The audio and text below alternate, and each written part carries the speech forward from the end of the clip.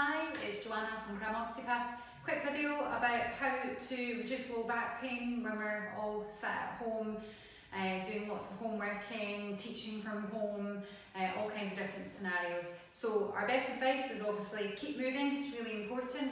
What can you do to keep moving if it's too sore to go out and walk? So one of the best things that we talk about is marching.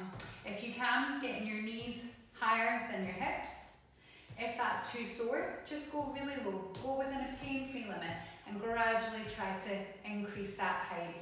You can also do supported marching where you can use a bookcase or a kitchen worktop or even just a wall and just support yourself that way. Okay, so nice marching, about 20 at a time and then you can rest and repeat it a few times over. Another really good one for low back pain is standing with our feet shoulder width apart or my favourite in a lunge position doesn't matter which leg, but this is nice for our low back as well.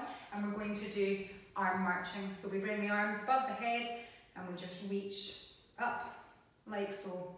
And again, between 10 to 20 of these arm marches. And these are going to get nice big long muscles at the back of us here to really help take pressure off that low back, keep the blood flowing in all the paraspinal muscles and reduce the pressure on our low backs.